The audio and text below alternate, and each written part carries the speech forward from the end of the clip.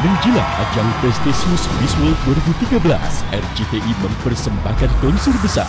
Ada band Last Child, Super Gelis, Fatin Sukia, New Dimension, Radian Lanza.